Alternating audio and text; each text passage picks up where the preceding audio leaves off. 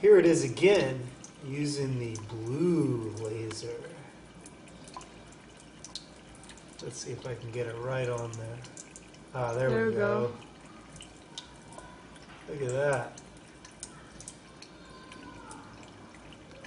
So mostly I just wanted to use the blue laser, but it shows that it's not color dependent, or I should say wavelength dependent.